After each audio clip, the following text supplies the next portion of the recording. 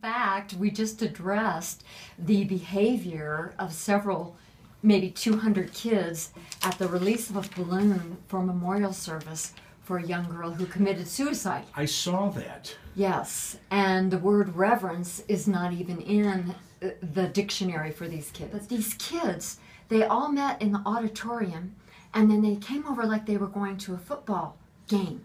And I kept thinking, surely they are going to settle down. Surely they are going to respect this girl. Uh, the solemn, solemn occasion that it was. And I saw Darlene Thompson, who works at the juvenile detention school that I often talk to. Uh, she was trying to get everyone to pay attention so they could start the memorial service. Sure. And the biggest culprit was the phone. The phone. The How many phone. times the phone just it, it, kind of takes you out of civility, doesn't it? It, it well, it takes you out of humanity. Bingo. And this helps kids because they don't have to think. There's not any critical thinking going on, mm-hmm. and everything is for amusement. It, sh- it shows how distant our kids are becoming from any real communication, mm-hmm.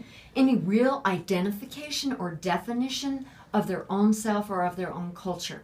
So they sit there with their phones and they show something funny on YouTube, they show something disrespectful, they throw their phones into the face of a unsuspecting girl or boy. Or they're But- taking selfies. yeah, they're taking selfies, they're doing crazy things.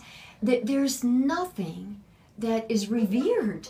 There's nothing sacred.